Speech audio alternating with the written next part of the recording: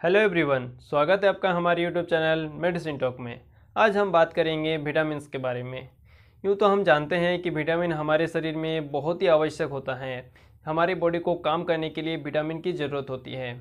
चूँकि हम जानते हैं कि विटामिन कई प्रकार के होते हैं, लेकिन इस वीडियो में हम सिर्फ़ विटामिन बी ट्वेल्व के बारे में बात करेंगे, जो कि हमारे शरीर में खून को बढ़ाने से लेकर कई सारे अन्य इंपॉर्टेंट रोल भी प्ले करते हैं। यह जो विटामिन बी ट्वेल्व है ये हमारे शरीर में भोजन के दौरान, यानी जो हम भोजन करते हैं, उसके द्वारा आसानी से मिल जाता है।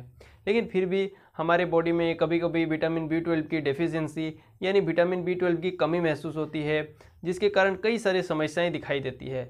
तो ऐसे कंडीशन में डॉक्टर द्वारा जो विटामिन बी ट्वेल्व की टैबलेट्स आती है, उन्हें दी जाती है सप्लीमेंट के तौर पर तो इस वीडियो में हम जानेंगे कि विटामिन बी ट्वेल्व की कमी से कौन कौन से डिज़ीज़ हो सकते हैं, या फिर समस्याएँ आ सकती है इसके जो टैबलेट्स आते हैं, विटामिन बी ट्वेल्व की, क्या उसे लेकर हम इन समस्याओं को ठीक कर सकते हैं? इसके कौन कौन से पॉपुलर ब्रांड नेम मार्केट में अवेलेबल है? इसके क्या डोज होते हैं? साथ ही इसके क्या क्या साइड इफ़ेक्ट्स हो सकते हैं? और अंत में हम बताएँगे कि कुछ कंडीशंस और प्रिकॉशन इस टैबलेट्स के बारे में। तो वीडियो को आप अंत तक देखिए, क्योंकि दवाइयों के बारे में अधूरी जानकारी घातक हो सकती है। और इसी तरह की मेडिसिन से जुड़ी जानकारी पाने के लिए आप हमारे चैनल मेडिसिन टॉक को ज़रूर से सब्सक्राइब कर ले। तो चलिए शुरू करते हैं।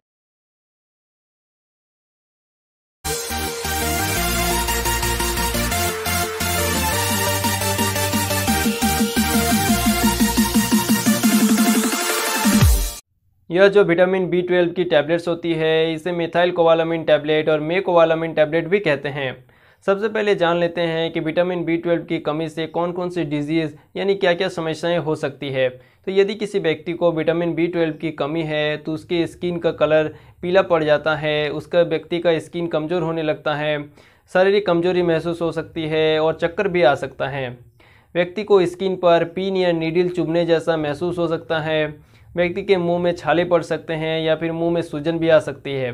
साथ ही साथ व्यक्ति का अगर आँख ठीक भी रहे तो फिर भी उसे देखने में दिक्कत आ सकती है, उसे धुंधला दिखाई दे सकता है, यानी विज़न प्रॉब्लम भी हो सकती है। मूड ऑफ़ रहता है, कहीं पे भी मन नहीं लगता है और लेजीनेस जैसा फीलिंग रहता है और कुछ रेयर कंडीशन में पेशेंट के बॉडी टेम्परेचर भी हाई रह सकती है। और यह सभी जो सिम्टम्स है शरीर में विटामिन बी ट्वेल्व की कमी के कारण रहता है, जिन्हें हम मिथाइल कोवालामिन जो टैबलेट्स आती है, उन्हें लेकर इन सभी समस्याओं को ठीक कर सकते हैं। इसके अलावा मेगालोब्लास्टिक एनीमिया करके एक जो मेडिकल टर्म आती है, जिसे हम सामान्य भाषा में खून की कमी कहते हैं, इसे ठीक करने के लिए भी डॉक्टर द्वारा मिथाइल कोवालमिन टैबलेट दी जाती है।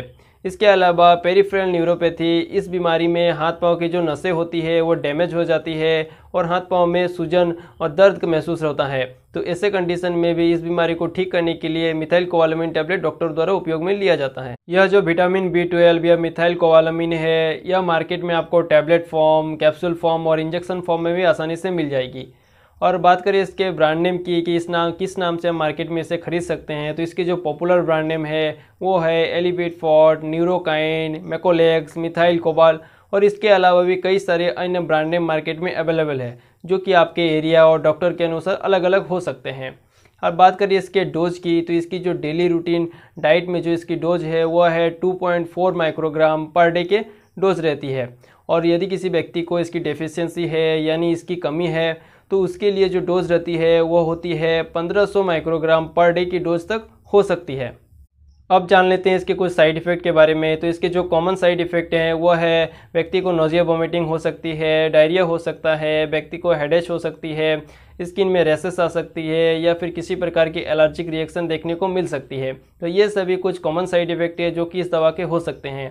यदि इसके अलावा आपको किसी और प्रकार की समस्या या साइड इफ़ेक्ट देखने को मिले तो आप इस दवा को लेना तुरंत से बंद कर दें और अपने डॉक्टर से जाकर मिले, ताकि आपको फर्दर ट्रीटमेंट दी जा सके।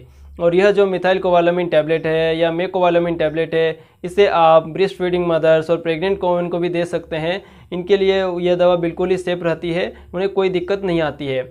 और साथ ही साथ जो एल्कोहलिक पर्सन है, जो कि शराब का सेवन करते हैं, उनमें भी यह दवा बिल्कुल ही सेफ़ रहती है। वो अल्कोहल के बाद यह दवा को ले सकते हैं, उनमें कोई भी समस्याएँ नहीं करती है यह।